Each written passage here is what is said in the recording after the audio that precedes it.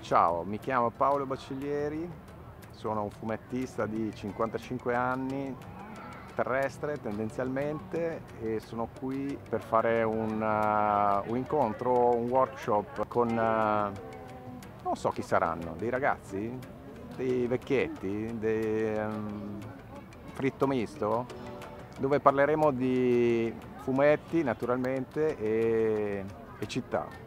Ah, la carta è, per me è un bene primario, sono ancora di quei fumettisti analogici molto legati al mezzo cartaceo.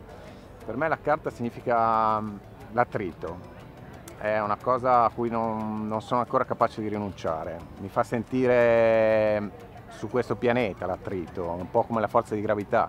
Per esempio disegnare con l'iPad è bellissimo, ma appunto manca questa cosa essenziale che è l'attrito, la fisicità, la, la, mm, la bellezza anche della carta l'odore. È il primo festival che faccio post-Covid e quindi sono emozionato come quando tipo avevo 16 anni alla mia prima Lucca Comics.